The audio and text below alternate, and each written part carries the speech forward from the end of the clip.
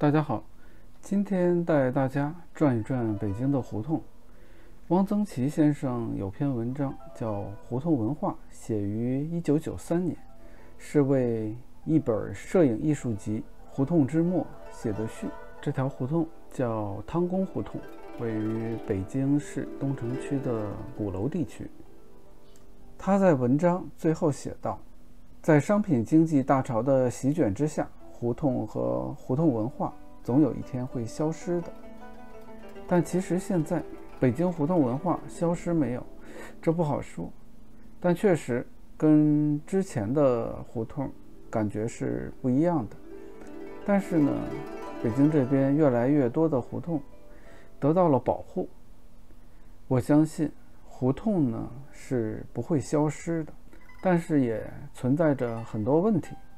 胡同里的人以及胡同里人们的生活习惯也在慢慢发生着变化。在这块儿，看看2022年的北京，这是钟楼广场。现在呢，北京每天都有新的疫情发生，但是人们正常的生活没有太多的改变。在钟楼广场，很多人在这里休闲、运动、下棋。汪曾祺先生在《胡同文化》这篇散文里写道。北京城像一块大豆腐，四方四正。城里有大街，有胡同，大街胡同都是正南正北、正东正西。北京人的方位意识极强，过去拉洋车的，逢转弯处都高叫一声“东去西去”，以防碰着行人。老两口睡觉，老太太嫌老头挤着她了，说：“你往南边去一点。”这是外地少有的。所以看一个人是不是老北京，那就看他说方向的方式是左右还是东南西北，便可以进行分辨。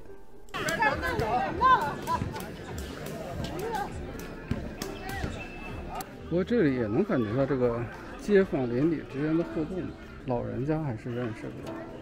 街道如是斜的，就特别标明是斜街，如烟袋斜街。杨梅竹斜街、大街胡同，把北京切成一个又一个方块。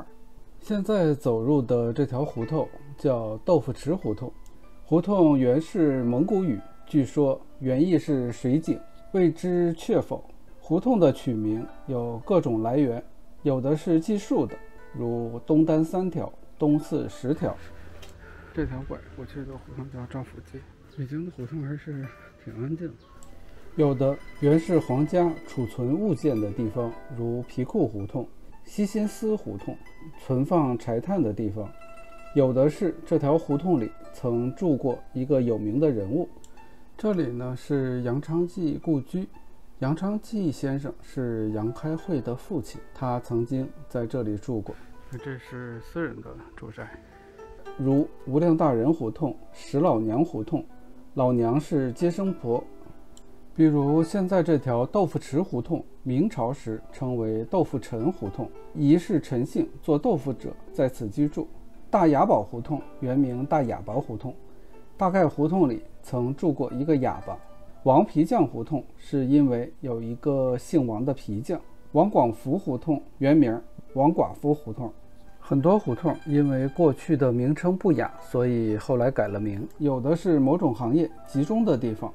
手帕胡同大概是卖手帕的，羊肉胡同当初想必是卖羊肉的。有的胡同是象棋形状的。高义博胡同原名狗尾巴胡同，小杨宜宾胡同原名羊尾巴胡同。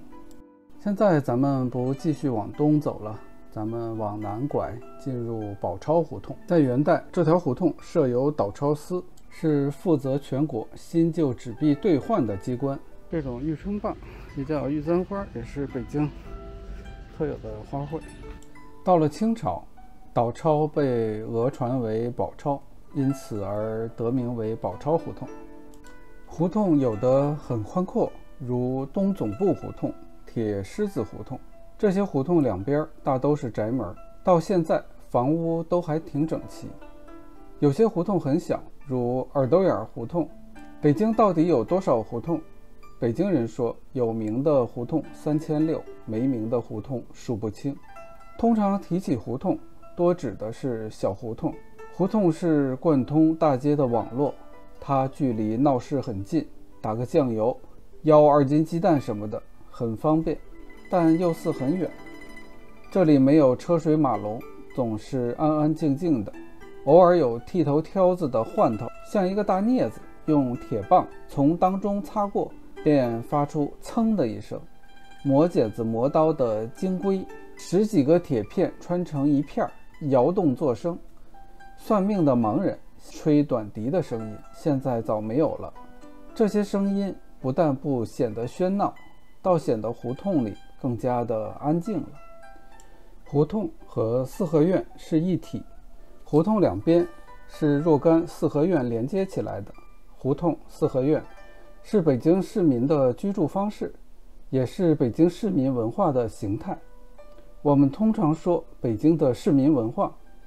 就是指的胡同文化，胡同文化是北京文化的重要组成部分，即使不是最主要的部分。胡同文化是一种封闭的文化，住在胡同里的居民大都安土重迁，不大愿意搬家。有在一个胡同里一住住几十年的，甚至有住了几辈子的。四合院是一个盒子。北京人理想的住家是独门独院儿，现在我们住的便是独门独院儿。北京人也很讲究处街坊，远亲不如近邻，谁家有点事儿，婚丧嫁娶都随一点份子，道个喜或道个恼，不这样就不合礼数。但是现在这种街坊的交往也很淡了，平常的日子过往不多。除了有的街坊是棋友，杀一盘；有的是酒友，到了大酒缸喝两个。大酒缸二两一杯，叫做一个；或是鸟友不约而同，各晃着鸟笼到天坛城根儿、愚园潭去会鸟。会鸟是把鸟笼挂在一处，既可让鸟互相学叫，也互相比赛。此外，个人自扫门前雪，休管他人瓦上霜。北京人易于满足，他们对于生活的物质要求不高，有窝头就知足了，大腌萝卜就不错，小酱萝卜那还有什么说的？臭豆腐滴几滴香油，可以带姑奶奶。虾米皮熬白菜，嘿，我认识过一个在国子监当差，伺候过几位名人的老人，他说哪儿也比不了北京，北京的熬白菜也比别处好吃。五味神在北京，五味神是什么神？我至今考察不出来。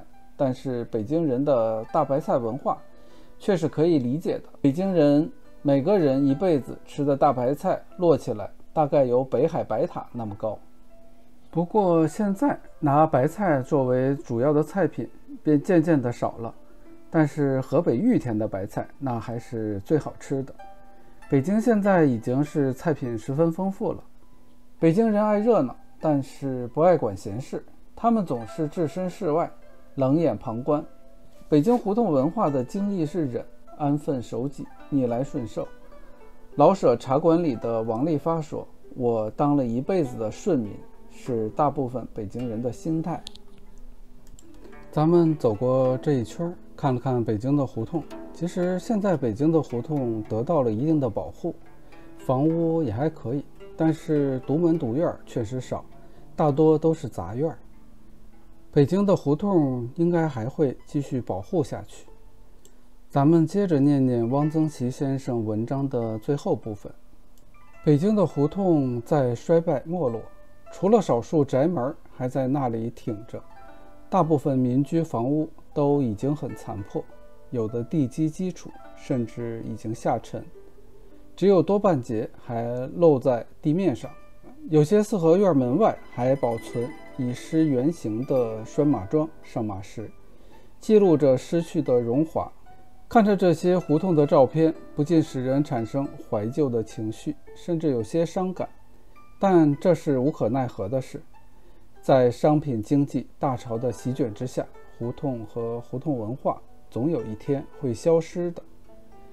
汪曾祺先生的文章结束了，胡同呢，到现在并没有消失，很多胡同和四合院得到了很好的保护。